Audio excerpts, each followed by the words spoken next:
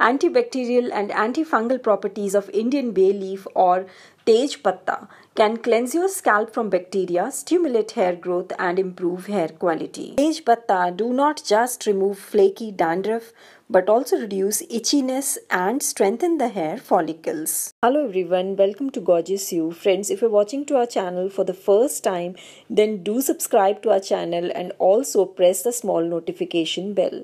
Nourish hair naturally with Tej Patta and Amla hair oil for gorgeous, thick, dark and shiny hair. So quickly, let's start preparing it. The star ingredient of this Ayurvedic hair oil is Indian bay leaf, commonly known as Tej Patta in Hindi. And for this remedy, I need its powder, so take a few dried leaves of uh, tej patta in your grinder jar and grind these leaves to a fine powder. This is virgin coconut oil. Friends, I would recommend to use virgin oils only as these are pure and are more effective. I'm adding about 7 to 8 tablespoons of this coconut oil in a bowl. Coconut oil moisturizes dry hair. It adds luster, shine and softness to the hair. Friends, this is castor oil. Castor oil is the best oil for hair growth.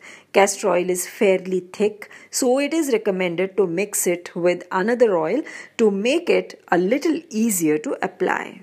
Today in this video I am using castor oil from the brand Origenz. Friends, if you want to buy the ingredients I am using in this video, do check the description box for the links. Mix about 3 tablespoons of castor oil into this coconut oil. Now mix about a tablespoon of this Indian bay leaf into it. As you can see my Tej Patta powder is not very fine but no worries it's okay. This is Amla powder. Amla is a superfood for hair and it is a proven tonic for hair. It slows down graying, prevents dandruff, strengthens hair follicles and increases blood circulation to the scalp thereby improving hair growth. Amla also acts as a natural conditioner, giving you soft and shiny hair. Add about 1 teaspoon of amla powder also. Friends, we'll prepare this oil by using double boiler method.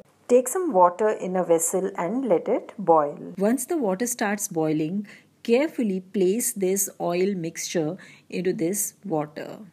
Keep the heat at low and stir regularly. Let it boil like this for about 10 minutes. After 10 minutes, take out the oil container from this boiling water. Friends, I would recommend to filter this oil the next morning so that the goodness of Indian bay leaf and avla powder gets seeped into this oil. Next morning, heat it again by placing it in the hot boiling water for about 2-3 minutes. Filter it through a fine cotton cloth. Our homemade Ayurvedic hair oil is ready to be applied. You can apply this oil either with your fingertips or with the help of a cotton ball from the roots to the tips of your hair. Wait for an hour or two, then follow up with a good herbal shampoo. As we've not used any wet ingredients in preparation of this oil, so this oil can be stored very safely at room temperature for up to a month. Use this oil twice a week for thick, long, shiny and strong hair. This oil will certainly reduce your hair fall, dandruff and reduce grey hair.